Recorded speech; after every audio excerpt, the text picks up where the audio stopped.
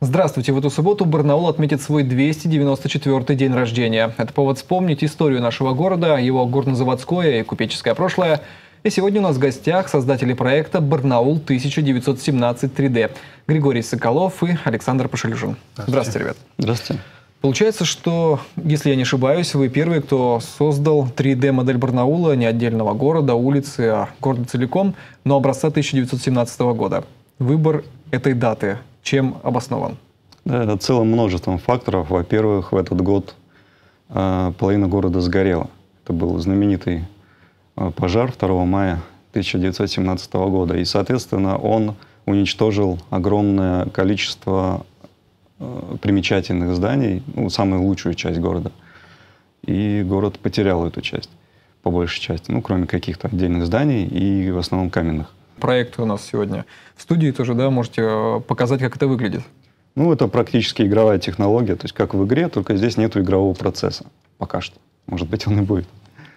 Соответственно, можно управлять с э, э мышки или с геймпада. Э, ну, здесь все по классике, как в видеоиграх, то есть можно ходить, можно прыгать, можно поворачивать камеру. Движение здесь свободное, можно бегать, смотреть здания. Еще здесь есть возможность получить информацию о домах, если навести курсор и зажать клавишу специальную, то появляется такая маленькая метка э, с названием дома и с годами, когда он существовал.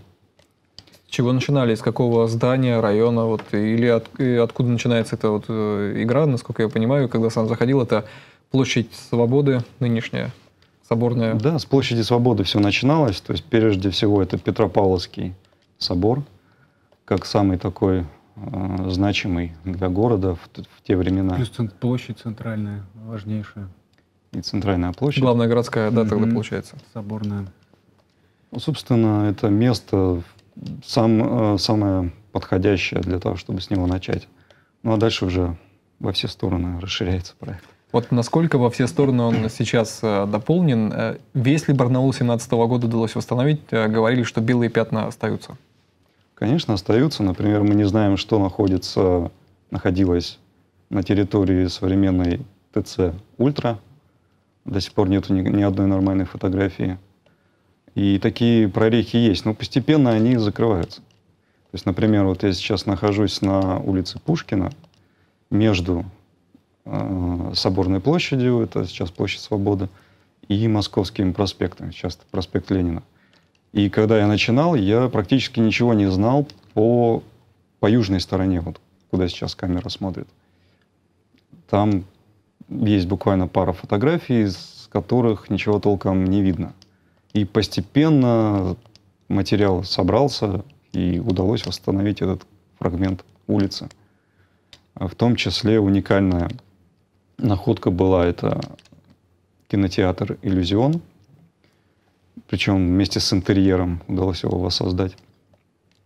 С и интерьером, то есть в него, войти можно? Внутрь можно зайти, да. Ну, зайти, Саша. Да, вот сейчас войдем внутрь, посмотрим. Конечно, интерьер очень э, поверхностно сделан, без особых деталей. Но он, по крайней мере, аутентичный. А, если верить, конечно, чертежам. Чертежам не всегда можно верить, правда. Вот зал, э, в котором показывали кино. Э, ну, это всего лишь один из многочисленных кинотеатров Барнаула на тот период. По-моему, в районе 20 было кинотеатров. И они еще постоянно э, закрывались, открывались. Mm-hmm. Некоторые из них были просто теми же кинотеатрами, но под другим названием. То есть там очень сложно. Вы к делу-то подходите с исторической точки зрения очень так скрупулезно, потому что в вашей группе в ВК я вижу время от времени статьи, которые рассказывают там про тот же кинотеатр «Иллюзион». Был материал, да, то есть э, про его историю. То есть не просто вы создаете облик, но и изучаете определенные вот вехи каких-то зданий, да, получается? Ну, мы с Сашей давно, не знаю, интересовались историей, наверное, не знаю, как познакомились там лет через mm-hmm. пять, вот потихонечку начали на эту тему разговаривать. И постоянно ходили по каким-то развалинам по городу, там находили какие-то необычные места в городе. И то есть интерес был, а когда есть сейчас интернет, есть возможности находить какие-то архивные документы, плюс есть люди, которые нам помогли, то есть э, дали тоже какие-то снимки. И собирая эти данные, действительно можно в деталях прям все это воссоздать. Вот. Ну, вообще э, надо знать Сашу, он такой человек очень э, педантичный, очень внимательный, он э, способен именно вот весь материал перелопатить и максимально сделать достоверно. Вот это вот его такая черта очень хорошая. Возвращаясь к проекту, хочется все-таки посмотреть город э, того времени. Может быть, прогуляемся и вот те дома, которых сейчас уже нет или выглядят совсем не так в наше время, то есть вот город, которого больше не существует прогулка по нему, экскурсия. Вот что бы вы показали, если бы была возможность вернуться и правда прогуляться? Есть целый набор выдающихся зданий, которые очень красивые или сложны, и они исчезли. А, и прежде всего я бы, наверное, церкви выделил. Это были самые такие мощные здания, самые высокие.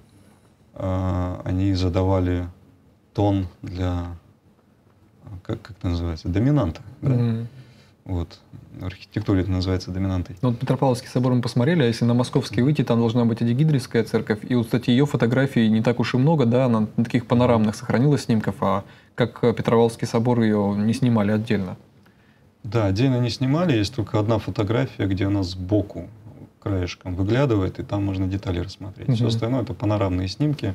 Восстановили ее? Получается? Вот она, вот она. Да, и соседняя ратуша тоже очень да. красиво смотрится. То есть это, чтобы люди понимали, рядом э, с э, старым базаром, вот по правую руку музей-город, да, получается? Да, да, да. Это бывшая городская Сейчас дума. Покажем. Вот он. Да, вот mm-hmm. музей-город, а вот здесь стояла... Сейчас там сквер. Сам Ленинский проспект, тогда Московский, как выглядел, если на него посмотрим? Ну, здесь. Он очень сильно изменился, по крайней мере, да, да, он, в принципе, очень сильно изменился за, эти, за это время. Ну, вот что мы видим? Вот это вот здание стоянки. Почти. Так, ну, во-первых, стоянка. Это самое интересное здание, наверное. А, казалось бы, что это за будка такая, да? Она есть на многих фотографиях, и многие привлекают внимание, но что это такое еще, пойди разберись. На самом деле это биржа извозчиков. То есть там была стоянка вот здесь вот, обратите внимание на вот эту длиннющую коновязь. Она шла практически целый квартал до самого конца. К ней привязывались кучеры и ждали своей очереди. То есть люди, вот здесь вот базар находился, люди с базара свой товар несли вот сюда и загружали. Ну или сами загружались, если это мы сейчас привыкли говорить, и новости выходят, что Барнаул лидер по количеству торговых площадей. На самом деле Барнаул 2017 года это тоже город э, торговых площадей и торговых домов. Пассаж Смирнова, вот, э, который никто из современников не застал, да, он сгорел как раз в пожаре 17 года. Как он выглядел? И это такой апофеоз был, да, получается, строительство купеческого в Барнауле. Ну, пожалуй, да, это самое такое выдающееся здание среди торговых Вообще все торг... Э, площади в городе были торговые. А, там и Сенная площадь, и Соляная, и Хлебная, все. Их было действительно очень много. Сейчас мы отправимся к пассажу Смирнова. А, причем он сгорел не только в 17-м, он сгорел 14 еще и в 14-м. То есть было два, на самом деле, пассажа. И мы про это напишем большую статью, собираем материал. Очень много про это в газетах написано было те времена. Вот так он выглядел в 17-м. Это очень непривычный вид, э, потому что практически все фотографии, которые есть, ну, еще у целого, mm-hmm. еще не сгоревшего здания, они все выглядели иначе. Э, они все показывали другой вид здания. Но он сгорел в 2014 году из-за общегородских погромов. А, сгорел, потому что там был винный склад. Кое-кто захотел винца и напились. Э, да, ну это получается мобилизация на Первую мировую, да, чтобы да. зрители. Вот, и он сгорел. Потом его зиму перестраивали, разбирали старые кирпичи, и из них возводили новое здание. И вот оно стало сильно другим. Оно, во-первых, добавилось ему третий этаж, э, переделали башни. Да, в принципе, вся архитектура поменялась. И самое интересное, что он слился с соседними зданиями. По соседству на Гоголя находился оптовый магазин. Тоже есть фотография этого магазина. И они слились в одно единое целое.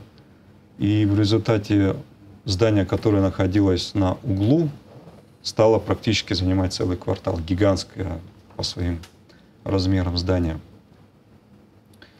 И сейчас вроде как сохранился от этого только маленький фрагментик, который уже сейчас, вот прямо сейчас разбирают. Я э, вчера там был. Э, там вот маленькая постройка возле АЗС. И сейчас разбирают кирпичи, и там сохранился вроде как исторический кусочек стены. Но, То похоже, есть, от него скоро тоже избавиться. Это тот город, который мы, ну, к сожалению, продолжаем терять и в наше время, да? То есть, и помним, э, контора купца Морозова сгорела в наше время, э, дом Паскотинова сгорел уже в наше время, Империал, да? Империал. Это... Империал, да, гостиница, которая да. вот, сейчас э, торговый центр на его месте. Постоянно пристройки делались к зданиям, вторые этажи. Входы менялись в разных местах. Даже вот здание, где мы сейчас находимся, оно тоже сейчас вход в совсем другом месте. Ну, кстати, можно, получается, его найти, да, наше здание, где мы находимся? Да, правда, оно плохо нарисовано, его нужно переделывать. Что в нем не так? Что хотите дополнить, переделать? А, ну, просто перерисовать текстуру в более качественном виде, детали добавить. Потому что часто просто плоские текстуры на плоскости. А, и когда я это делал, ну, это, это было давно, эту модель, у меня еще не было нормальных, э, как бы это сказать, футажей, нет. Mm-hmm. Можно ли это так сказать? То есть со временем я понабрал, ну, понаделал сам разных фотографий, чтобы сделать текстуры. Mm-hmm. Кирпич, там, бревна и так далее. Изначально В высоком разрешении. не было. Ну и то есть постепенно материал-то набирается. Mm-hmm. Вот. А само здание, оно, конечно, сильно поменялось. Оно сейчас облицовано, а раньше был голый кирпич. А сейчас вход в другом месте, вот, э, где камера сейчас смотрит, а на самом деле оно было с другой стороны, вот здесь. А сейчас это место находится со стороны стадиона «Динамо». Ну, вот телезрителям еще акцентирую внимание, это сейчас то самое здание, где мы с ребятами mm-hmm. общаемся, да, то есть здание сибирской медиагруппы выглядит вот так, а, выглядело так в 1917 году. Вокруг него пусто, нет фотографий э, того, что было рядом. Вот дом Полякова же, да, получается? Через дорогу? А пока просто не, не дошел до этого, потому что я стараюсь последовательно делать, чтобы из центра потихоньку расширяться вширь. Ну, сейчас, по-моему, 85, да, Саш, процентов? Ну, примерно, да, восстановлено на тот период здание. Из изначального плана. Но планы все время меняются. Про источники. Хочется все больше. По фотографиям, и фотографии вам нужны очень хорошего качества и вы публиковали эти открытки, и тот, кто историей Барнаула интересуется, знает, что Барнаул до революции — это Сергей Иванович Борисов. Э, в большинстве своем его фотооткрытки, его фотографии. Где достаете эти материалы? И как удается их в хорошем качестве получить? Э, в хорошем качестве есть только два варианта. Первый — это э, сайт, государственный сайт, куда все свои фотографии закачивают музеи совершенно официальный ресурс, госкаталог.ру. И там они, как правило, в очень хорошем качестве с максимальным разрешением. А второй вариант покупать. Ну, вот штук 10 уже мы купили. То есть аукционе. фотографии или открытки, ну, материальные, скажем так? Открыт, не... Открытки, конечно. Фотографии сейчас никто, наверное, уже не найдет. Потому что и исходники, насколько мне известно, у того же Борисова сгорели как раз в 2017 году. Да, в пожаре. Поэтому, конечно, мы находим на аукционе, покупаем их и сканируем в ультравысоком разрешении. У этого Барнаула несуществующего, который вот в 3D восстановлен, на ваш взгляд, какая должна быть судьба? Вот что хочется для этого проекта? Как он должен жить? Ну, он должен, мне кажется, он должен стать э, игрой, интересной игрой, массовой, с сюжетом, э, определенным таким правильным, хорошим отношением к своему городу, к, к, с любовью к нему, и при этом интересной игрой. То есть э, такой захватывающий, интерактивный. Игра это для того, чтобы интерес больше в часть да, территории да, привлечь? Да, да, да. Это, мне кажется, самый лучший способ э, игровой форме и изучать историю, и знать ее. Мне кажется, человек, который прошел там эту игру, это ну, то же самое будет, как какой-нибудь учебник по Барнаулу, да. Ну, может быть, конечно, mm-hmm. искаженным, не получится там академически это все перенести, но тем не менее. Это было бы классно, если бы подростки уже знали историю своего города. Ребят, спасибо большое вам, что mm-hmm. нашли время, что пришли. Успехов вам. Дело очень интересное и нужное, мне кажется, для каждого жителя города будет полезное. А зрителям я напомню, что сегодня мы общались с создателями проекта «Барнаул 1917», который позволяет прогуляться по улицам города столетней давности. Спасибо, что были с нами. До встречи.